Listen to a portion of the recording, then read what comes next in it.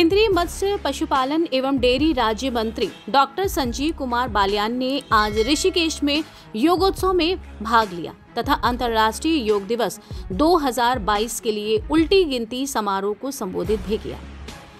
गंगा घाट पर उपस्थित जनसमूह को संबोधित करते हुए डॉक्टर बालियान ने कहा कि उत्तराखंड योग की जन्मस्थली है और इसके कायाकल्प के लिए इससे बेहतर कोई जगह नहीं हो सकती। केंद्रीय मंत्री ने कहा कि प्रधानमंत्री श्री नरेंद्र मोदी ने योग को विश्व के मानचित्र पर ला दिया है।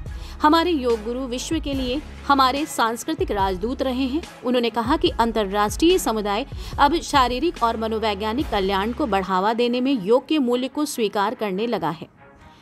केंद्रीय मंत्री ने आगे कहा कि सरकार 13 मार्च से 21 जून 2022 तक 100 शहरों में अंतर्राष्ट्रीय योग दिवस की 100 दिनों की उल्टी गिनती का समारोह मना रही है। मत्स्य पशुपालन एवं डेयरी मंत्रालय आज सोमनाथ, ऋषिकेश, कन्याकुमारी में योग उत्सव मना रहा है।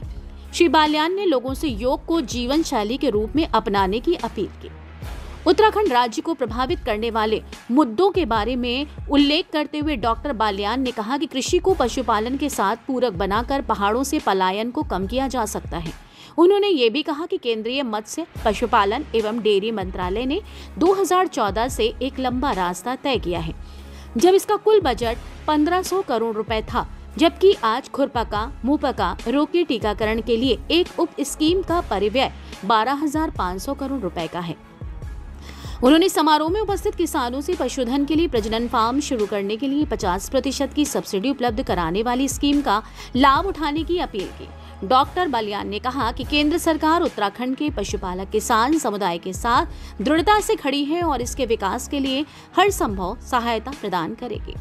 योग सत्र से पहले डॉक्टर बाल्यान ने पशुलोक फार्म का दौरा किया तथा राष्ट्रीय पशुधन मिशन के तहत राज्य बकरी तथा भेड़ प्रयोगशाला का उद्घाटन किया।